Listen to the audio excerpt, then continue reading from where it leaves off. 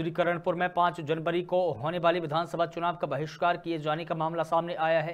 किसानों ने खेती के लिए पूरा सिंचाई पानी देने की मांग को लेकर विधानसभा चुनाव में मतदान नहीं करने का फैसला किया है। भारत पाकिस्तान अंतर्राष्ट्रीय सीमा पर बसे गाँव छत्तीस एच नग्गी के चौक पर किसानों का धरना जारी है। किसानों ने कहा कि टीलों पर पूरा सिंचाई पानी देने की मांग कई सालों से की जा रही है। कई दफ़ा धरना प्रदर्शन भी किया जा चुका है लेकिन जनप्रतिनिधियों ने समस्या का हल नहीं निकाला है।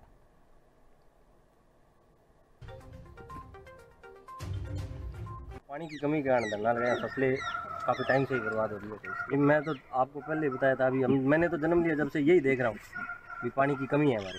पहले भी हमने धरने लगाए हैं। आता है प्रशासन नेता भी आते हैं पानी देख जाते हैं। एक बार तो लिखित में भी देखे गए थे। आज तक उसका कुछ हुआ नहीं। तो अंत में हमें ये करना पड़ा भी चुनाव का बहिष्कार करेंगे। अगर इस चुनाव तक हो गया तो ठीक है, नहीं आगे एमपी के चुनाव आ रहे हैं, उनका भी। ये धरना सिंचाई का पानी नहीं मिल रहा है, उसके विरोध में लगा हुआ है।